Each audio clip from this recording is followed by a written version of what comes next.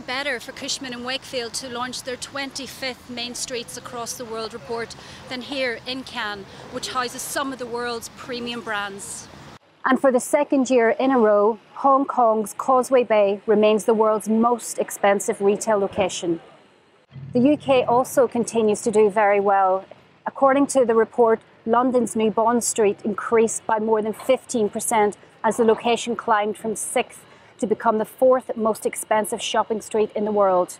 The Americas showed the strongest regional growth with prime rents increasing by 5.8%. Cushman and Wakefield's report predicts that luxury will continue to grow. Overall, Noella, the growth looks to be around 3 to 4% average around the globe. Uh, but of course, in some streets, it's been very much higher.